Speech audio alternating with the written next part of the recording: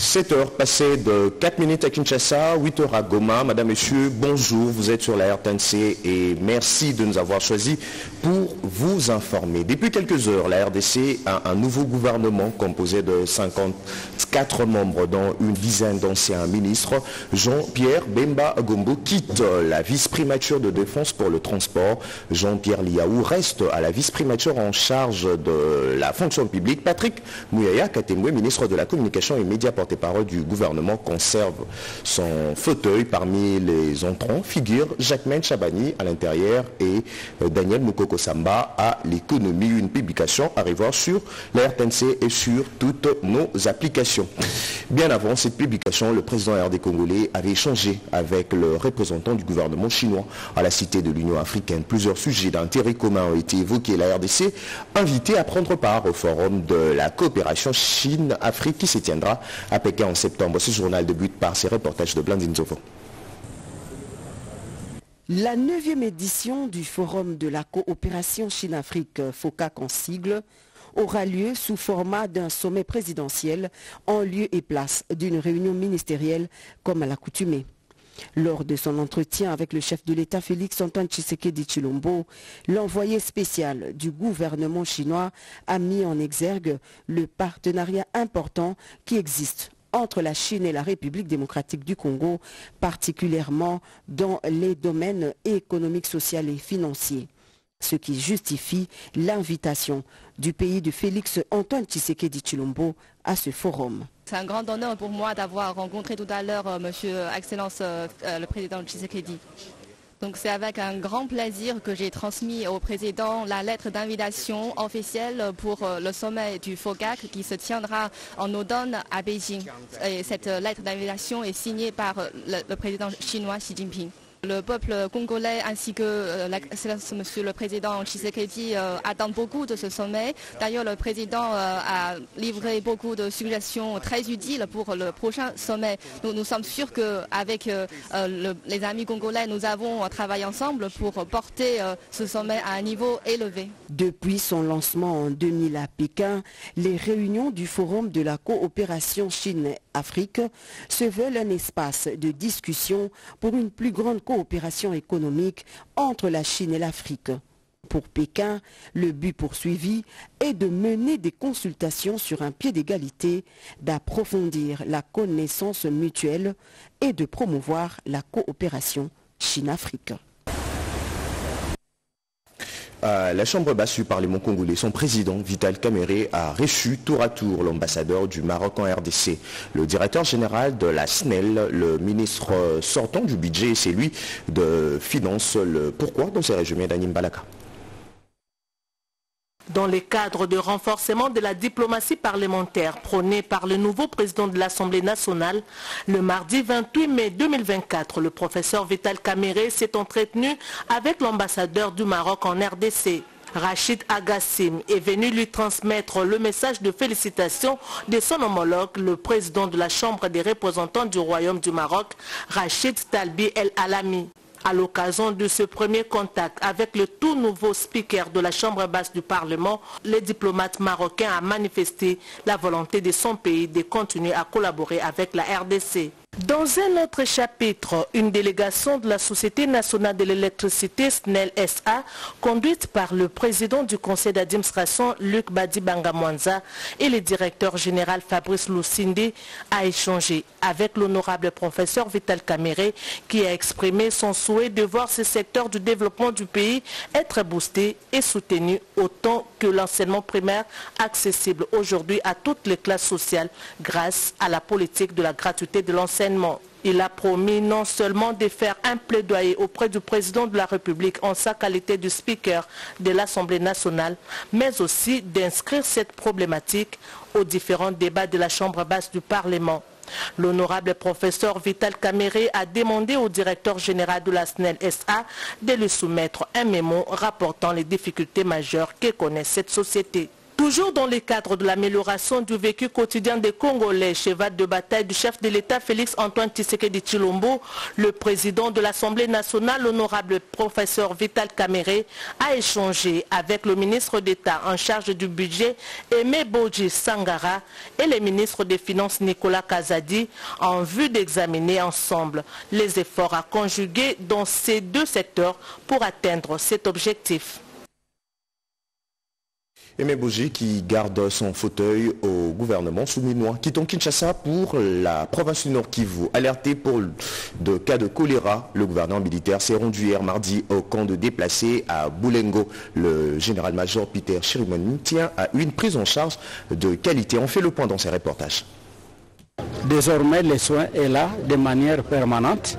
Le gouverneur militaire du Nord Kivu, le général-major Peter Chirimwami Kuba, a visité les sites de déplacés de la CEPAC à Boulengo en ville de Goma ce 28 mai 2024. Alerté des cas possibles de choléra, le chef de l'exécutif s'est enquéri des réalités, mais aussi des désidératas des locataires de ce camp des déplacés. Il y a des cas enregistrés comme cas suspects de choléra de fraîchir ici l'ambulance pour déployer les malades. Ils sont des centres de traitement de choléra, monsieur le gouverneur, madame la ministre. Encore comment gérer les cas de décès dans des sites? Le général-major Peter Chirimwami a loué par la suite l'initiative patriotique du centre hospitalier HOP installé 24 heures sur 24 sur le site. Il a également donné des pistes de sortie aux demandes des déplacés. Nous avons des ambulances dans tous nos hôpitaux en ville c'est question de mettre un système d'alerte. Lorsqu'il y a un cas qui demande l'urgence, vous appelez la conseillère principale chargée de la santé et on va directement trouver la solution. Dans ces cas-là, on va toujours prévoir un espace pour les cas de choléra. C'est nous qui enterrons tous les morts déplacés. On a mis en, permanence un service qui, fait, font les cercueils, mais l'évacuation des morts, c'est aussi ce que j'ai dit, un service d'alerte. Pour ce qui concerne les retours de, déplacés dans leur milieu d'origine, je dois vous assurer que le président y travaille et tout le monde, parce qu'il n'y a personne, il n'y a aucun Congolais, un patriote qui peut être content de voir la situation dans laquelle les déplacés sont en train de vivre. Les ONG internationales œuvrant dans le secteur des santé travaillent de 8h à 14h sur les sites. L'objectif du gouverneur du Nord Kivu, c'est la prise en charge sanitaire 24 h sur 24. D'un titre à un autre, le vice-premier ministre euh, sortant en charge de la défense a lancé à Likassi le travaux de construction d'un complexe industriel de la défense, une infrastructure d'Afridex. Nicole Cessep. L'Afridex, l'africaine d'explosifs, ayant son siège à qui soutient les actions de l'armée congolaise, va sortir des terres un complexe industriel de défense grâce au financement de ses partenaires. C'est pour poser les jalons de ce grand ouvrage que le vice-premier ministre et ministre de la Défense nationale et ancien combattant, Jean-Pierre Bemba Gombo, est en séjour de travail dans le Haut-Katanga. Accompagné du gouverneur de province, Jacques Katoué, le vice-premier ministre a effectué les déplacements de l'ICASI ce lundi 27 mai. Dans son nom de bienvenue, le directeur général de l'Afridex, le grand amiral Baudouin Liwanga, a rendu hommage au chef de l'État Félix Antoine Tshisekedi Chilombo et a invité les uns et les autres à la protection de ce patrimoine. Aujourd'hui, c'est un grand jour, oui, et pour nous, et pour la République. Nous prenons rendez-vous avec l'histoire et les noms et nous travaillons pour la postérité. Ne détruisons pas l'œuvre qui va contribuer à améliorer notre image dans les cercles des nations respectées et puissantes. Pour sa part, le vice-président de Norenco, l'un des partenaires s'est dit honoré d'assister au démarrage de construction de ce complexe qui s'achève au mois de septembre 2025 et commencera sa production. Le deuxième partenaire MEC de la Turquie s'est dit prêt à soutenir la République démocratique du Congo dans plusieurs domaines, notamment dans la production des explosifs. Enfin, le vice-premier ministre et ministre de la Défense nationale, Jean-Pierre Bembangombo, a procédé à la pose de la première pierre de ce complexe industriel de la défense en présence du gouverneur de province Jacques Katoui. Les travaux vont durer environ 18 mois. Notons que le vice-premier ministre en charge de la défense, Jean-Pierre Bembangombo, est arrivé dans le Haut-Katanga par l'aéroport international de Loano dans la matinée de ce même lundi 27 mai 2024. Il a été accueilli par le gouverneur de province Jacques Kiaboulakatoui. Allez, on change carrément de chapitre parlant justice. Il risque 20 ans de prison. Aussi, la fermeture de son église. Tel est le réquisitoire du ministère public au cours de la plaidoirie dans l'affaire du pasteur Kassamba Kana, connu casse de l'église primitive.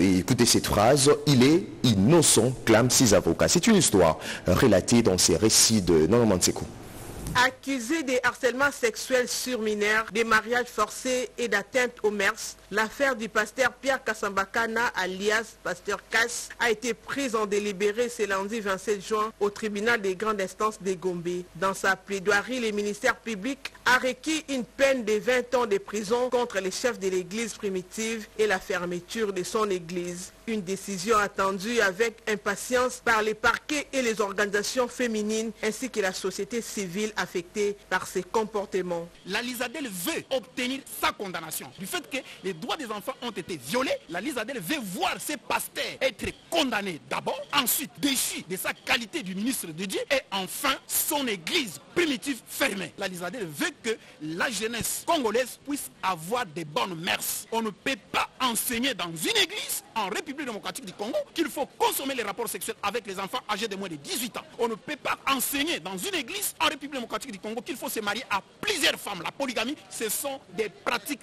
interdites par la loi République démocratique. Cependant, les avocats de la défense rejettent catégoriquement ces accusations qu'ils qualifient d'acharnement contre l'homme de Dieu. Ils affirment qu'il n'y a jamais eu de viol car la prétendue victime est majeure. Les plaidoiries, c'est le moment indiqué pour nous de la défense de rencontrer les accusations formulées par le ministère public en y proposant les éléments de droit appropriés pour démontrer l'inexistence de ces infractions et solliciter le tribunal qui nous juge tous, il nous juge et nous, la défense et le ministère public qui accuse les Arrêté le 8 janvier 2024 à Kinshasa, Pierre Kassambakana a été transféré à la prison centrale de Makala, tout comme les pères de la présumée victime Mabia Landouzi et l'officier de l'état civil qui a falsifié l'acte de naissance de la victime. Puis en délibéré, le verdict sur cette affaire sera connu le 7 juin 2024.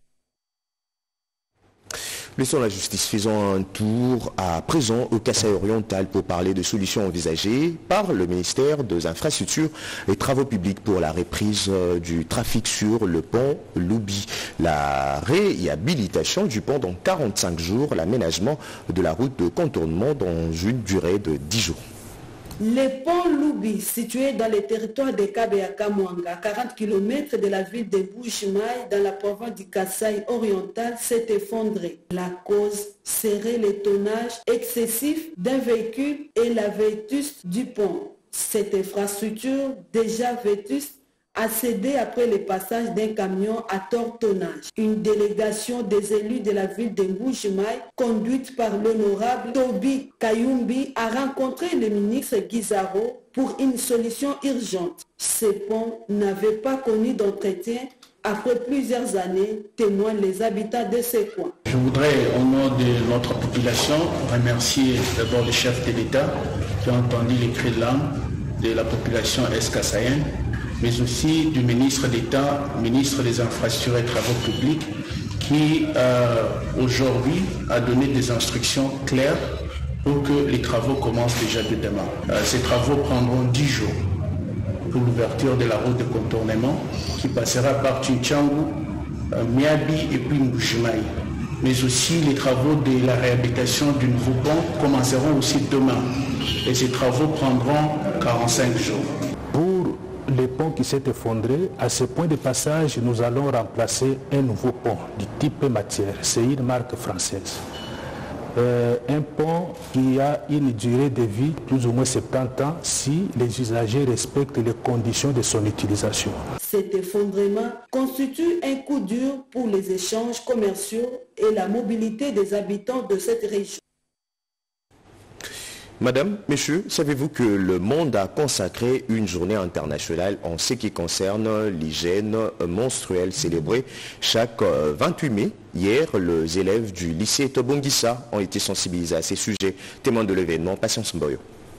C'est à l'école L'Info Angili que la journée mondiale de l'hygiène menstruelle, célébrée chaque 28 mai, a été commémorée. Thème choisi, Ensemble pour un monde respectueux des menstruations. L'activité organisée à cette occasion vise à sensibiliser les responsables des écoles ainsi que les élèves à l'éducation sur la menstruation. Il faut briser les silences, a souligné les représentants du secrétaire général de la santé. L'hygiène menstruelle n'est pas un tabou. Dans nos familles, on n'en parle pas sur l'hygiène menstruelle. Que le garçon comme le fille savent que c'est un phénomène naturel et que le garçon peut accompagner le fille et que le fille peuvent vivre euh, librement ou naturellement leur période de menstruation. Il faut donc des latrines appropriées, plaidoyer des enfants membres des comités de Kinshasa qui sont également concernés par l'hygiène menstruelle. Ce que nous voulons, ce sont des enfants informés, des écoles avec les meilleures installations sanitaires possibles sur l'hygiène menstruelle en l'incluant dans le programme scolaire.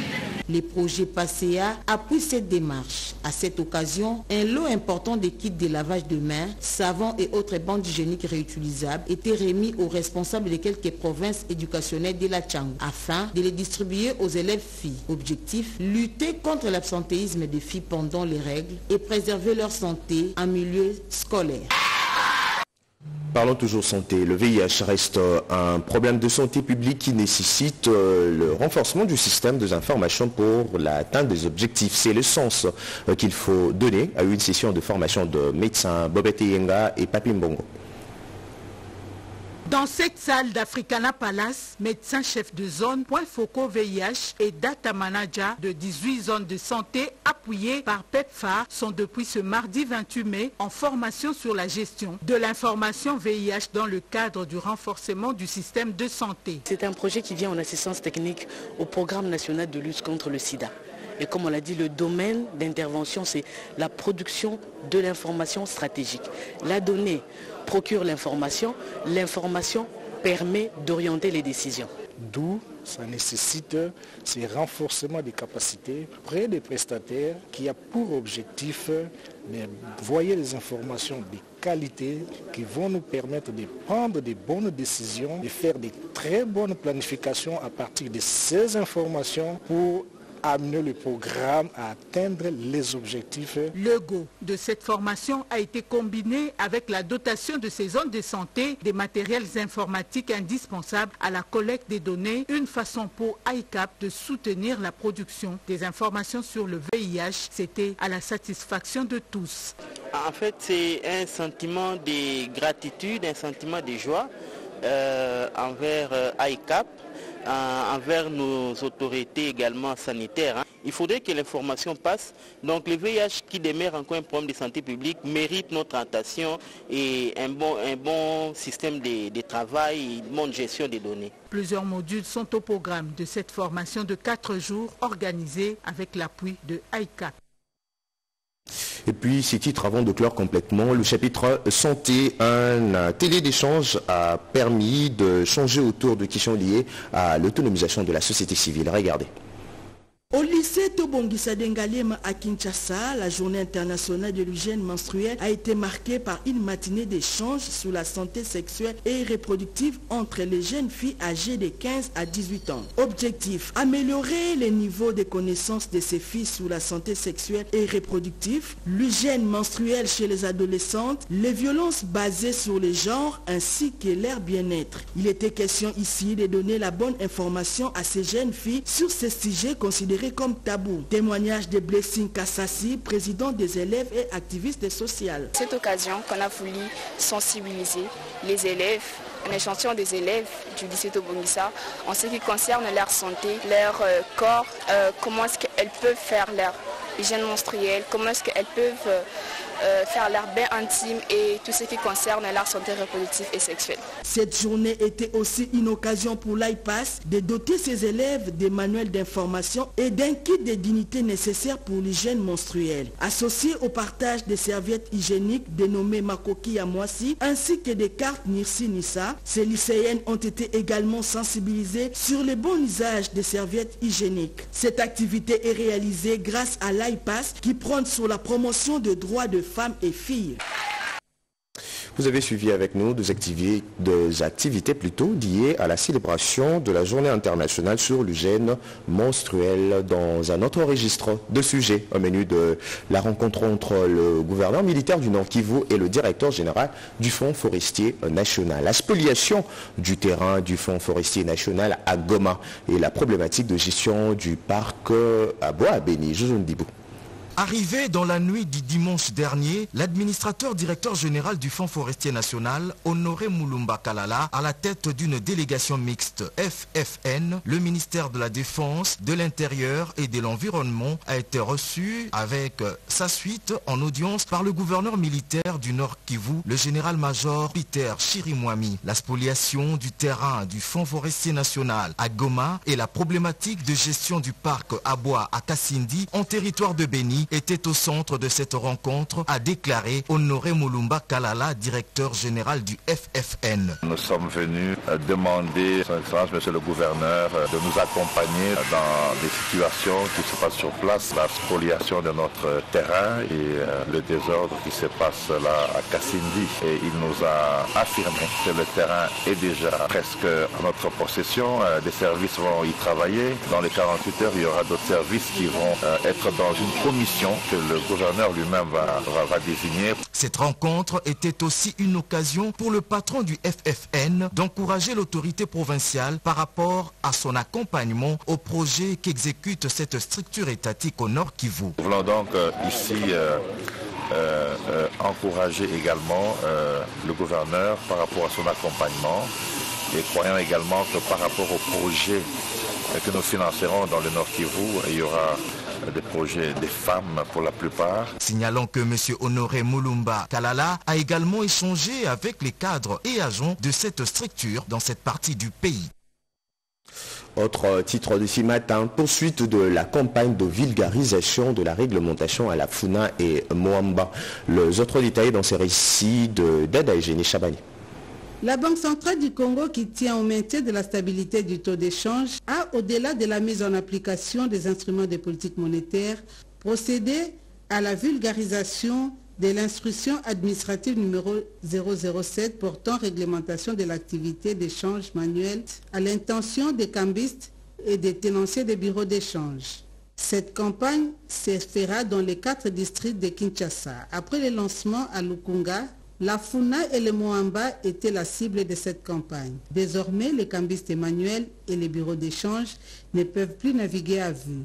Ils doivent se conformer dans l'exercice de leur profession au respect de l'instruction administrative numéro 007 portant réglementation de l'activité d'échange manuel.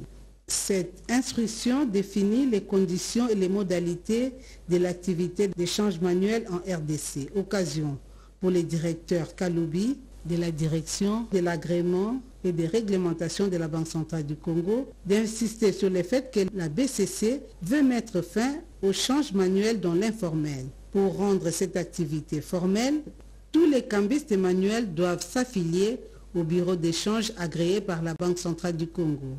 Et tous les cambistes manuels ainsi que les bureaux d'échange doivent à leur tour s'affilier à la Corporation des cambistes de la RDC. Pour lutter contre la spéculation, les bureaux d'échange sont tenus à afficher les cours d'échange à l'intérieur de leurs locaux et non à l'extérieur sous peine de sanctions prévues par la loi.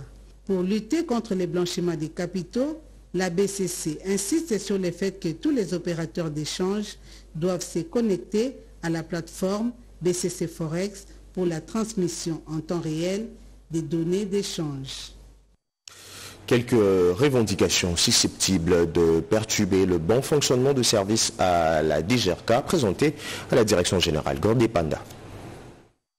conduite par Mme Charline Banankai de la direction des recettes Ngalier Manor. Dans leur mécontentement, ces femmes, agents et cadres de la direction générale des recettes de Kinshasa, DGRK, ont fait le forcing et elles ont arraché la rencontre improvisée avec leur directeur général, Miché Moussa Kamael Nkai, pour réclamer le droit lié aux meilleures conditions socio-professionnelles, malgré le non-respect de la procédure administrative pour faire ce genre de revendications avec un sens paternel, le directeur général, Moussa Kamael Nkai, les a reçus pour les écouter. Dans la farde chemise contenant leur mémo, il y a toute une liste de dossiers. Elle dénonce, entre autres, la non-mécanisation du personnel de l'administration fiscale de la ville de Kinshasa. La mauvaise prise en charge médicale qui a déjà causé sept morts d'agents par AVC de janvier à ce jour, le paiement statique et maudit de la prime de mobilisation mensuelle, le paiement non conforme de la prime de contentieux en violation des textes, nous les mamans de la DGRK demandons la révocation sans délai et sans condition des agents et cadres qui se distinguent par un banditisme professionnel. Pour les DG de la DGRK, après les avoir recadrés, il les a aussi exhortés à rester calmes. Car pour avoir franchi lui-même tous les échelons au sein de cette entreprise, il a la maîtrise de tous les problèmes. Il fera de toutes ces revendications sa propre préoccupation. Vous avez insisté, comme je suis en ce moment un père, j'ai accepté de sortir de mon bureau parce qu'en ce moment, je savais bien que vous deviez vous retrouver dans vos postes de service. Vos revendications sont miennes et nous allons tout traiter sans tabou. Le temps faisant défaut pour traiter et vider tous les dossiers, le rendez-vous est fixé pour ce vendredi 31 mai Posons-nous à présent cette question qui tarote les esprits des observateurs. Est-ce que les journalistes dans la catégorie femmes de médias sont aussi, oui, sont aussi plébiscités, meilleures présentatrices? Madame, Messieurs, ces reportages vous dit tout, oui, tout, à ces sujets. Regardons ensemble. Il va nous faire quelque chose de précieux, tu vas voir, et puis on va clôturer avec vous. La trentaine révolue, Fanny Malonga, journaliste de formation, ne cesse d'émerveiller les téléspectateurs par ses prestations. Et cela depuis qu'elle a intégré la radio-télévision nationale congolaise de développement en qualité de présentatrice hors pair, notamment à travers les émissions telles que Bonjour Fanny, Trajectoire et la RTC 2 chez vous, dont le nombre de vues reste imbattable. Un travail de qualité qui a été suivi de près par les membres du jury Trophée Culture Award, une organisation culturelle très impliquée dans la promotion des professionnels des médias affinis. Par plébiscité, Fanny Malonga, meilleure présentatrice télé de 2023 des émissions socio-culturelles. Donc c'est un honneur pour l'éternel, un honneur pour Madame Sylvie Elengue. Mais je vous dis merci en tout cas de m'avoir voté. Euh, je ne suis pas spéciale que les autres, mais seulement que je suis spéciale par rapport à ce que je détiens, à la manière dont je vous accompagne. Je vous remercie infiniment. Ce plébiscite a été accueilli avec joie par la directrice générale Sylvie Elengue Niembo, qui ne lésine pas sur le moyen pour mettre en condition son personnel. Une fierté pour la grande famille RTNC. Aujourd'hui, je suis très fière de voir que le travail que nous faisons sur le terrain est récompensé par euh, Fanny Malonga. Ce trophée est une récompense au travail bien fait et j'encourage les autres euh, à lui emboîter les pas parce que ça encourage et ça donne une valeur ajoutée à la chaîne. Surnommée Lumière FM, la lauréate a remercié tous les responsables de la RTNC 2 développement pour l'encadrement assuré, sans oublier les collaborateurs qui l'accompagnent dans la production des émissions. Et puis ce titre avant de nous quitter, les élections sénatoriales dans l'Équateur Roménie de discussion entre Augustin Kabouya de l'UDPS, Élysée Bakoumania de FPAU et Jonas Moukamba du Sénat. Des retours à Kinshasa après son élection à Mbandaka dans la province de l'Équateur en tant que sénateur, l'ancien gouverneur de l'Équateur, Jonas Mukamba, a reçu en sa résidence située à Binzama Campagne une forte délégation de la plateforme de forces politiques et sociales alliées de l'IDPS dont il est issu, conduite par son coordonnateur général, le sénateur Élisée Boukoumouana. L'on a noté également la présence remarquable du secrétaire général de l'IDPS, Augustin Kabouya. Au cours de cette rencontre, il a été question de lui apporter les encouragements en raison de sa brillante élection. Selon Élisée Boukoumouana, le coordonnateur général de la plateforme FPAU, cette victoire méritée est le fruit de la diversité dans l'unité nationale, telle que prônée par le président de la République, Félix Antoine Tshisekedi Chilombo. À cette occasion, quelques présents ont été remis au patriarche Jonas Mukamba.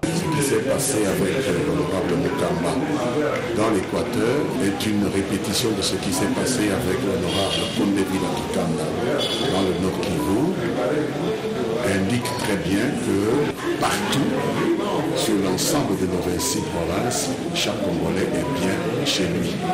Cette visite de courtoisie de plus d'une heure a été aussi un moment de partage entre les différentes personnalités et c'est là dans une ambiance conviviale. L'actualité revient à 13h30 avec euh, Aimé euh, Ndaya. C'était un journal de la rédaction coordonné par Doris Monzo, réalisé par euh, Mamita Bangoulou, Papi Mvouele, assisté de Yannick Yangumba, José Dimonekene et Alain Gallia. Je vous retrouve demain à 7h sur la même chaîne avec le même plaisir de vous informer, surtout le même sourire. À demain.